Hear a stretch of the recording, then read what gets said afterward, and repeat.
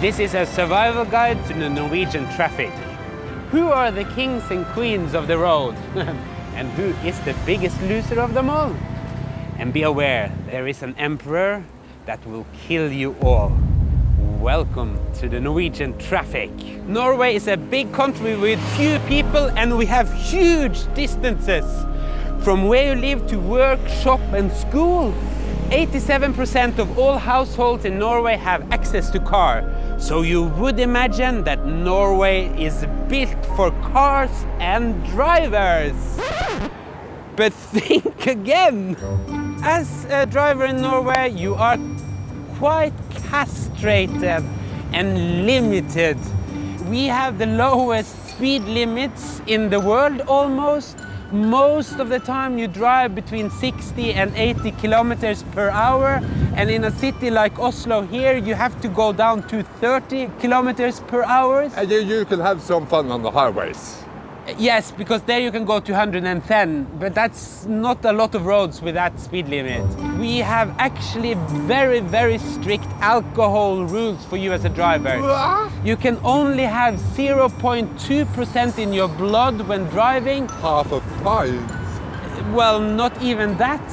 So no lunch and drinking. No drinking, no nothing, not a wine, not a beer, uh, uh, eating dinner and driving. Absolutely not.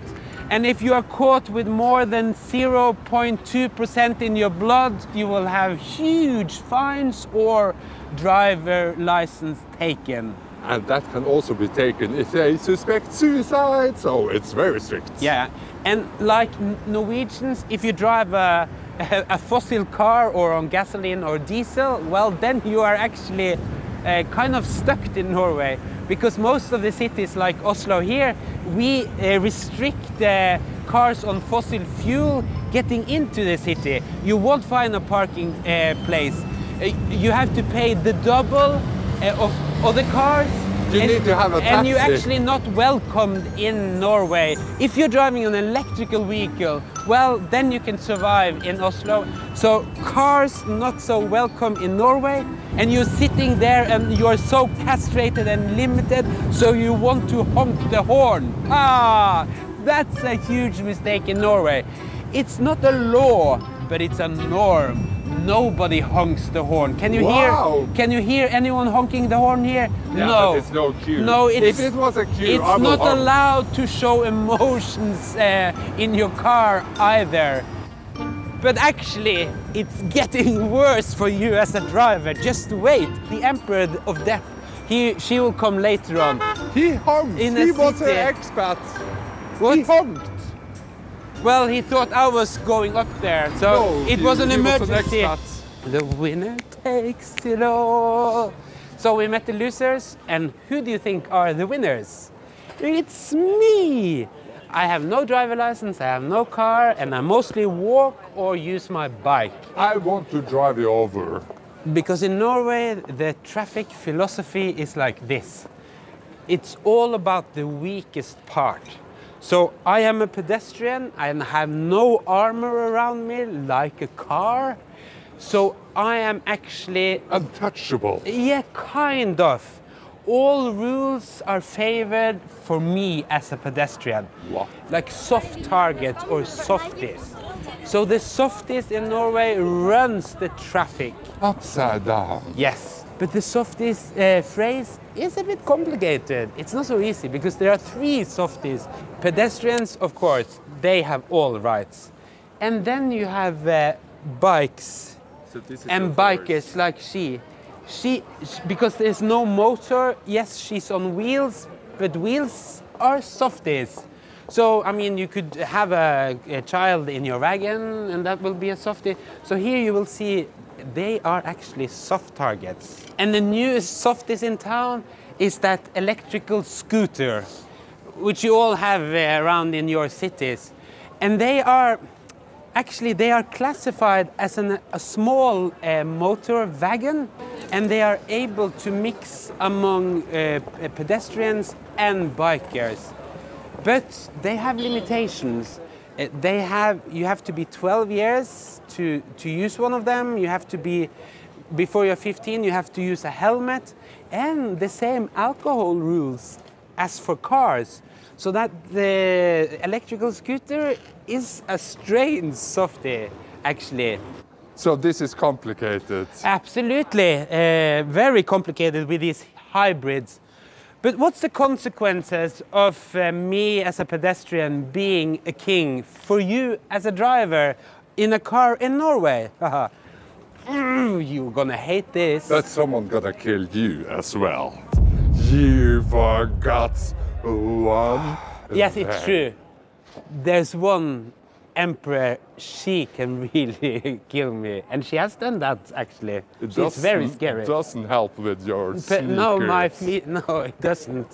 and it's making a lot of noise. Yeah, It's evil. Uh, it's it's um, it's kind of scary. First time you're visiting uh, Oslo, for instance, or Bergen, where we have it. It's yeah, it's it's kind of scary. Are you afraid of it?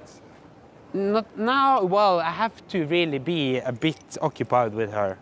Yeah, she's the only one I have to actually notice in the traffic. So.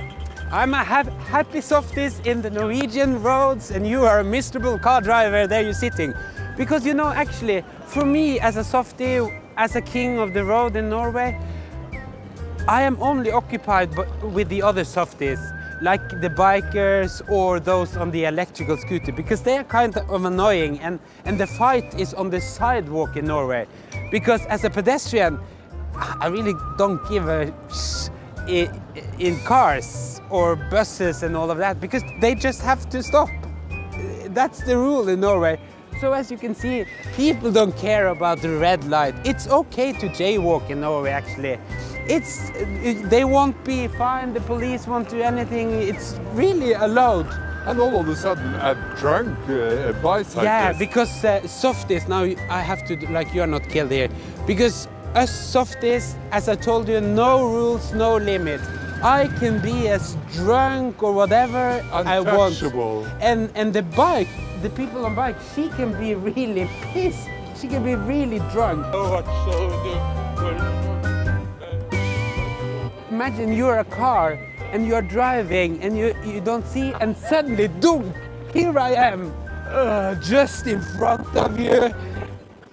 And God forbid, if you hit me with that car, and it's my fault actually because it wasn't zebra stripes. I can just hop in front of your car, Drunk. dead drunk. You hit me, and guess who's got the responsibility? The softest. Guess who's gonna pay the insurance? The softest. Guess who's going to go to jail if it's a really hard accident? So you have a diplomatic passport.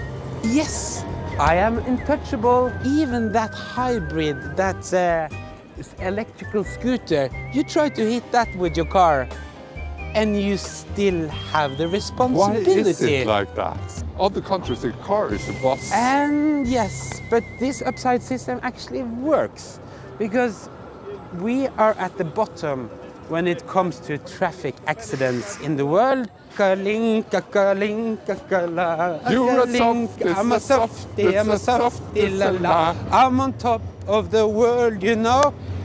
So you better walk or, or go on a bike if you come to Norway. So who's the winner and losers in your traffic? Leave us a comment. We love to learn about your country. But you're not untouchable. You forgot your biggest enemy. I don't want to know about my death. There, there is an area where we are actually on the top when it comes to accident. I see I'm you gonna get reveal that afraid now. now. Are you afraid? Yeah, actually, the real ruler, the Death Emperor, Are who you can afraid? kill us all. A bit afraid, actually, because uh, I, I, I've been to some almost accident with her, and she's kind of tough.